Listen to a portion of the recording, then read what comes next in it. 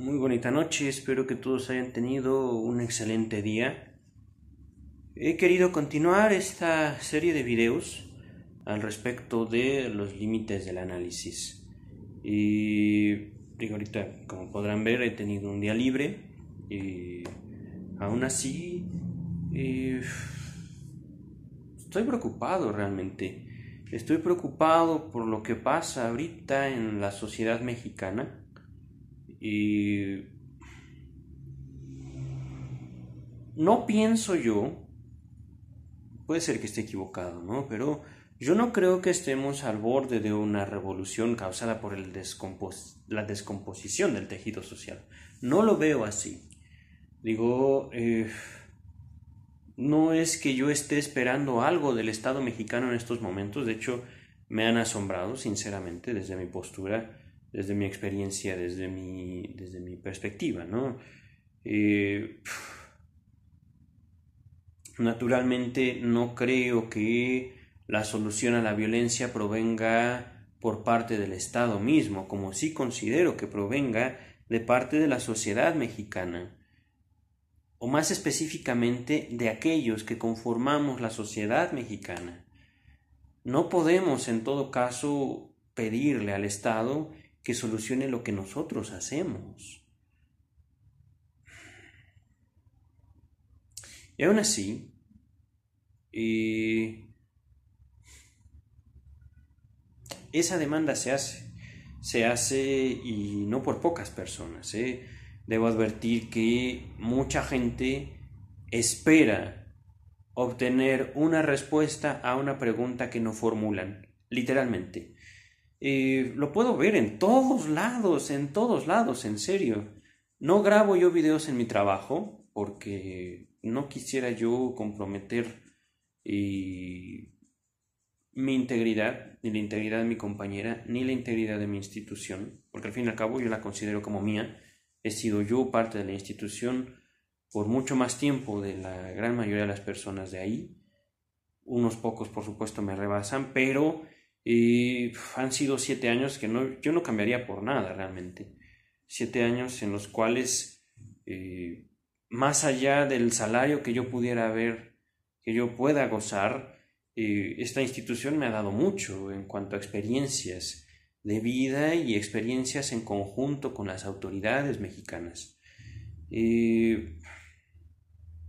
pero bueno, vaya, regresando a los límites del, del análisis. Hay una situación que todo analista debe de reconocer y es una situación en la cual se basa el análisis mismo, que es la demanda del analizante esta demanda se plantea en una relación que no tiene que ver con la relación que establece el psicólogo con su paciente. La relación que establece el analizante con su analista es una relación por completo diferente a la que se establece en la psicología. Y esto justamente por la demanda. Eh, la demanda que el analizante plantea al analista eh, debo decir que el analista sabe es imposible de satisfacerse y aún así se planta delante del analizante, eh, buscando satisfacerla. Digo, ahorita yo me remito a las experiencias que yo, como analista, que presta servicios en un departamento de psicología, en base a un papel que por supuesto es mío y que yo me lo gané, a través del estudio de mi propio esfuerzo, eh, para escuchar demandas. Literalmente, no estoy exagerando, no estoy exagerando. Quisiera yo en este sentido que apelar al, a la creencia de, todos y cada uno de ustedes. Eh, llegan al módulo en el cual nosotros estamos, y digo nosotros, aquí me, me atrevo a hablar en nombre de mis compañeros, para decirme, es que yo quiero hacer algo, pero no sé qué quiero y quiero que tú me lo des, quiero que tú lo hagas, a veces con esta intensidad, a veces con esta situación. Y bueno, he ahí, digamos, la magia que, que me fue transmitida de la escucha. ¿Cómo es eso? a ver, vamos a, tranquilizarnos primero y yo quiero escuchar lo que usted tiene que decir. Cuénteme más. Ahí es cuando la gente pasa de así de a decir, a ver, a ver, espera, tiene razón. No, no estoy hablando con sentido. Me pasó esto. Ah, creo que me pasó esto. Y ya. A ver, bueno, le pasó esto. ¿En dónde? ¿Cómo? ¿Hace cuánto? Y uno va poco a poco, poco a poco, y es así como la gente se comporta de modo distinto frente a sí mismo, que eso es gracias a la experiencia que el mismo psicoanálisis me brindó. Digo, mm, ahorita no quisiera yo, que esto es parte de mi formación como analista y se lo debo mucho a mis maestros, a mis compañeros, ¿no? Se les debo la vida a ellos. Realmente, literalmente les debo la vida. Hace poco les comentaba a ustedes, mis escuchas, que eh, tuve una relación sentimental y afectiva con una gente que me llega a decir, bueno, yo no creo en eso. Eh, pues efectivamente, no tienes que creer. No le dije eso, simplemente yo ni me acuerdo ya que le dije, ya tiene más de un año que no veo a esta chica, a pesar de que me ha buscado. Pero, eh, fíjense, llega ella conmigo, no como analista, sino como persona, buscando una, según su lógica, y hablando, por ejemplo, del deseo, ella llega buscando conmigo una relación que no quiere, porque está ella en una relación que tiene y que no quiere reconocer como tal. Ese es un ejemplo, ¿no? Eh, naturalmente, este, digo, yo la, la, escucho a esta chica, que es algo que a mí el psicoanálisis me ha dejado como persona, y me permite tomar una postura al respecto de su deseo, de, de estar conmigo sin tener una relación que ella dice no querer para entretenerse mientras no está con una relación que no es oficial, pero que ella sostiene frente a mí. Entonces, en base a esa situación que yo puedo identificar gracias al análisis, yo me libro literalmente de ella, ¿no? Al hacerle una petición, o él o yo. Punto. ¿no? Entonces, eh, ella en un primer momento me dice, no, pues él. Bueno, adelante. Digo, como ella no me decía en un, principio, ni, ni, tú ni él, yo sí y le digo, no, pues ya, hasta aquí, no más. Yo no puedo tolerar eso. Digo, no estaba jugando conmigo, no estaba jugando con él, pero este llega un momento en el cual yo digo, hasta aquí, ¿no? como persona, no como analista, pero ese es el punto. Yo les hablaba hace unos momentos que eh, el análisis no puede brindar a la psicología de un método con un objetivo en particular, no puede hacerlo, simplemente no, porque cada caso es distinto, porque cada, cada situación, cada histeria es distinta, cada obsesión, cada, cada neurosis obsesiva es distinta. No podemos todos encuadrarlos como un A, A más B igual a C.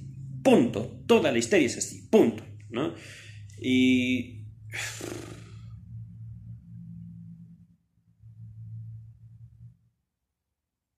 Pero, por, por lo mismo les digo, cuando uno se pone frente al otro. En un afán de, saber, de, de, querer saber, en un afán de querer no comprender, no justificar, no... de saber por saber, no sé si estoy siendo demasiado abstracto, tal vez sí. Este es, digamos, como mi postura frente al análisis. Colocarme frente al otro sin un discurso previo, sin un yo soy analista y te voy a sostener y te voy a cuidar como analista, no, espérame tantito. Vamos a ver qué es eso. Vamos a ver qué es y ¿Qué qué, qué es eso que tú dices? Yo no entiendo. Yo quiero saber de ti, por ejemplo no quisiera yo este, hablar, por ejemplo, del deseo como algo que ya está ahí, de lo inconsciente como algo que ya está ahí, del psicoanálisis como algo que ya está ahí, no, sino básicamente, y ese es un esfuerzo fundamental de mi libro, es empezar y todo de la nada. Otra vez siento que estoy siendo demasiado abstracto. Em, en un espacio donde yo no soy, construirme. En un espacio donde yo no existo, hacerme. Ahorita siento que, siento que estoy siendo totalmente lacaniano. Siento hasta cierto punto que deliro, ¿no? Que deliro yo. Eh, siento que eh, busco, ¿cómo ponerlo en palabras sencillas? Lo más fácil, transmitirlo fundamental. Ah.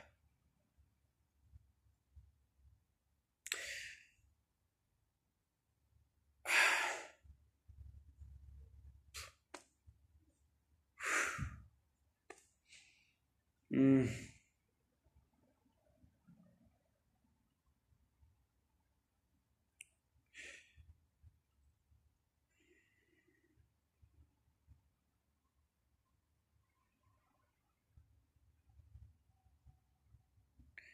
No, tampoco así. Iba a hablar del ser, pero el ser es territorio filosófico y como psicoanalista post-lacaniano, no quiero yo sostener mi discurso como el discurso de Lacan. Ese, esa es su marca, no la mía. Y al maestro se le respeta. Y al maestro del maestro con más razón. Y... En serio, a veces yo quisiera dejar de leer para hablar sin la mayor eh, complicación. A veces yo quisiera ser un poco más ignorante de lo que ya soy para poder hablar sin, sin fórmulas. Pero bueno, eh, Llega un momento en, la relación que yo sostengo, que yo sostuve con esta chica, en el cual me doy cuenta y me agradezco a mí mismo de mi propia imperfección. En no darle a ella lo que quería, que era básicamente mi silencio.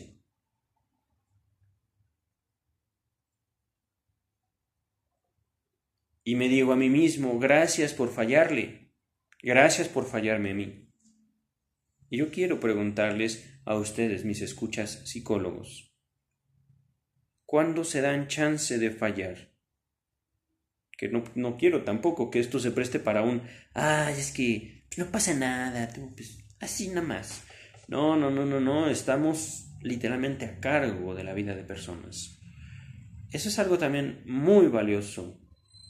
Y les pido por favor investiguen, ¿A cuántos pacientes se le murieron a, cuántos pacientes se le murieron a Freud? ¿Cuántos pacientes murieron estando supervisados por Lacan? ¿Cuántos pacientes no son transferidos a otros profesionistas? ¿Por qué los grandes maestros fueron incapaces de hacer una sola cosa? Hablando, por ejemplo, de las histéricas de Freud, no recuerdo exactamente el texto, pero Freud lo dice claramente, hay histéricas con las que no se puede hacer absolutamente nada y la vida es la única que les puede mostrar por su fuerza su postura, su limitada fuerza, lo pequeño que representa el deseo del histérico frente a la vida y que nosotros como analistas nos toca simplemente ver pasar.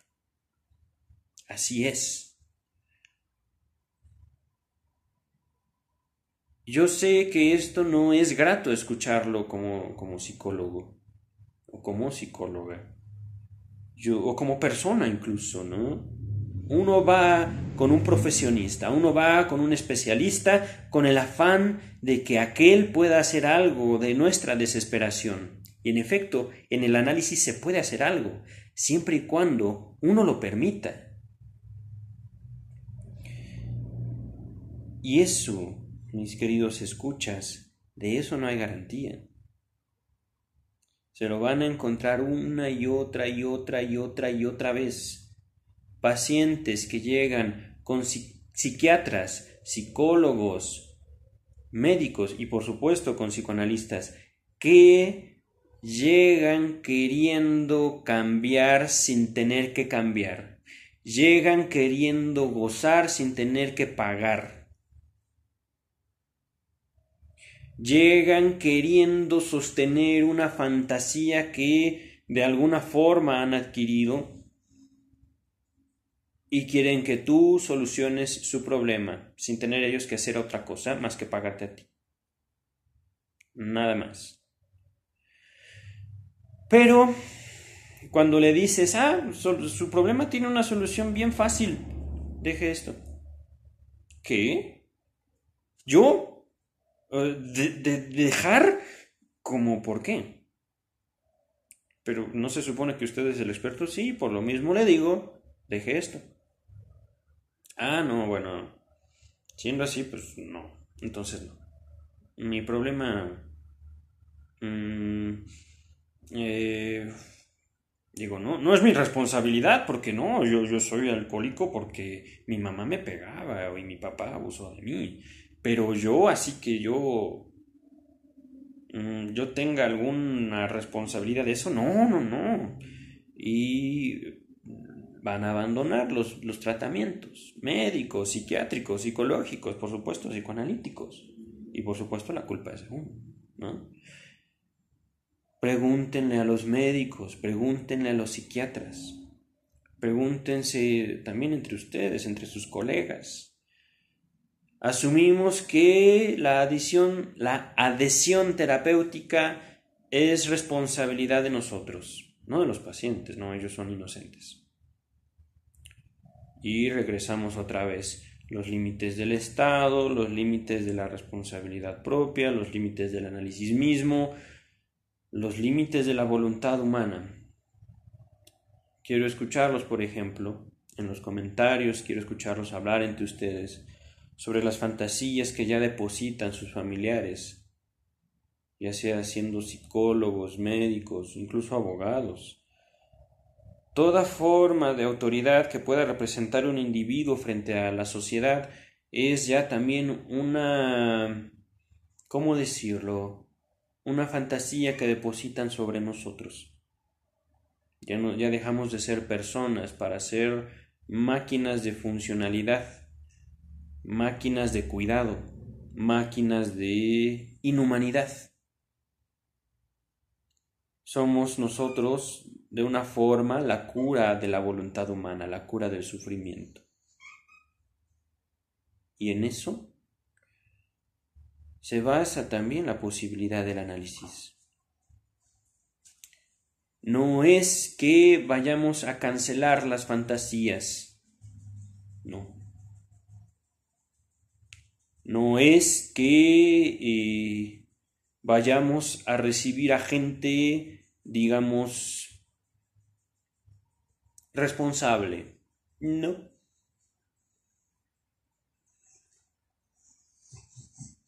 No es que vayamos nosotros a recibir el pago justo y el precio justo por lo que hacemos. No, tampoco.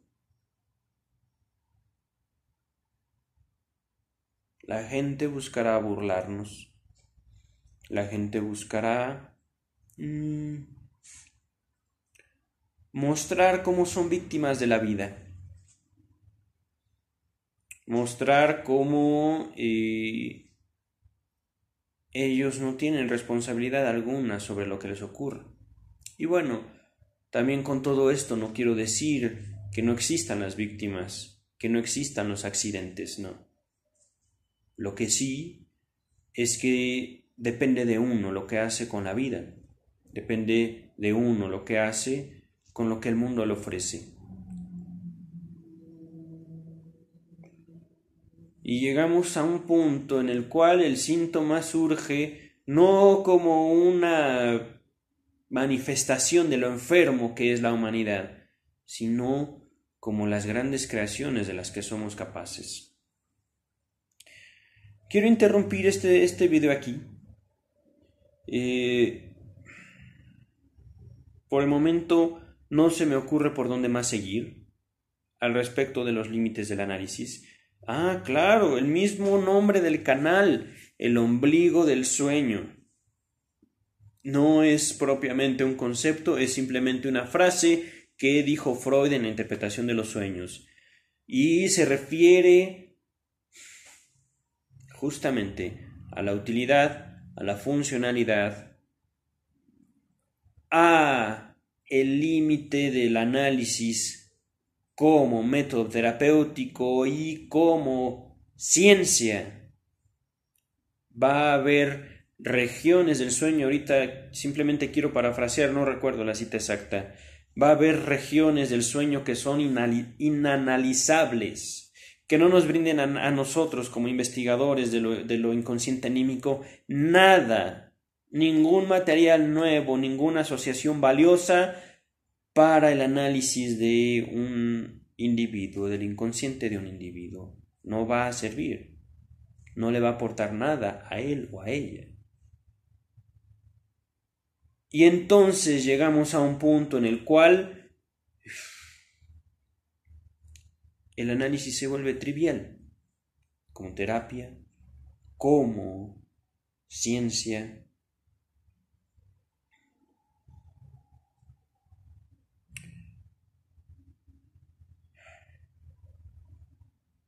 investigar por investigar, saber por saber. La ciencia ya no como una un camino al progreso, una forma de obtener más de nosotros mismos, sino como un placer. Y ni como eso, ¿eh? La ciencia como un hecho trivial caray, no quiero ir por el camino de Lacan, pero mi misma formación no me lo permite. Híjole. Eh, quiero dejar hasta ahí ahora sí el video. Por supuesto hay ombligo del sueño para rato. Todavía me falta mucho que leer, mucho que analizar. Quiero comentarles sobre mi libro, que de lo que he dicho no he dicho nada sobre mi libro y que tiene que ver todo con aquello que me perturba. Les repito el título del libro, Sexualidad infantil y crimen. El subtítulo es Psicoanálisis del Estado. No es un libro que pretenda atentar en contra de las instituciones, sino en contra de... ¿De qué? Ay, nanita, ¿de en contra de qué?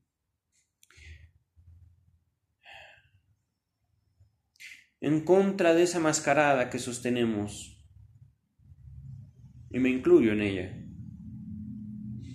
En contra de esa indefensión que tenemos delante de la vida. En contra de mí mismo. En contra de mi propia identidad. Es un cuestionamiento hacia mí, primero que nada. ¿Soy analista o no soy analista?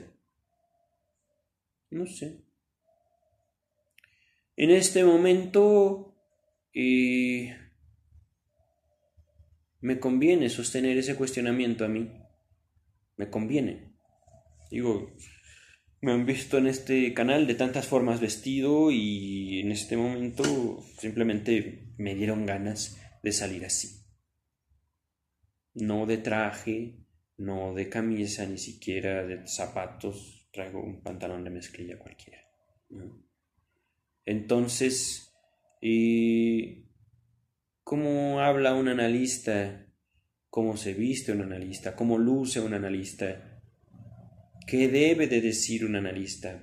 No sé. No se me ocurre en este momento. Simplemente hablar de esa vivencia que yo he tenido gracias al psicoanálisis, Gracias también a todos y a todas que me han amado, que he amado, y también que me han odiado y que yo he odiado. Cuídense mucho, por favor, no se hagan odiar, procuren hacerse amar entre sus seres queridos, entre sus semejantes, y si no les es posible, odien, odien libremente. Sepárense de aquello que no soportan. Busquen, sobre todas las cosas, su propia identidad, la identidad de su lucha. En eso puedo yo comprender el feminismo de hoy. Si me identifican a mí, que me duele matar cucarachas, que no soporto yo matar una mosca, si me identifican como un violador en potencia, bueno, pues que así sea.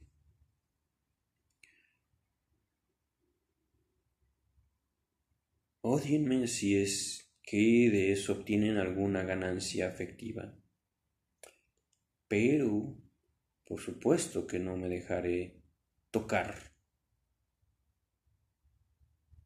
Por supuesto que tampoco permitiré que alguien le haga daño a mis seres queridos, si es que puedo hacer algo al respecto, porque he ahí